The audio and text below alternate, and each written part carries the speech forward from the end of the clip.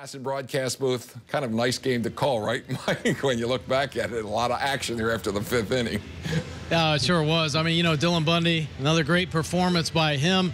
And of course, watching this Orioles offense come to life is something magical, right? The home runs that they hit, you know, starting to pass the baton a little bit, and the way they hit the home runs. Nice to see Manny Machado going the other way.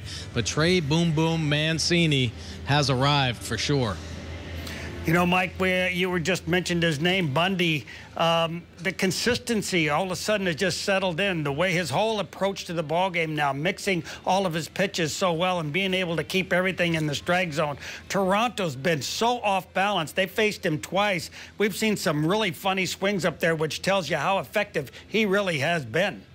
Uh, you got that right. Yeah, it's about that's the key, isn't it? Keeping hitters off balance, and he's done that. And I think a large part of that is Wellington Castillo behind the plate, the ability to recognize what the starting pitcher has to offer, and then using it to its fullest potential. Dylan Bundy that slider is as nasty as you're going to see in the game. Throws it hard, great late movement, right on the plate. See so many swing and misses. Then you start looking for an off speed pitch, and here comes the noise 94, 95 mile an hour heater.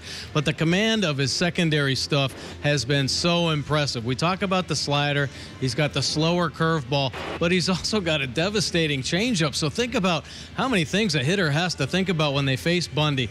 Well, another quality start, though. Six strong innings, just the five hits scattered, no runs, only one walk for Bundy. Very impressive. And I was a little concerned coming in this game because of how many pitches he threw in Boston. How is he going to respond to that? Most ever in his career, he responded right. And I'll tell you what, getting out of the door, that tough jam in the first inning, really set the tone for the game.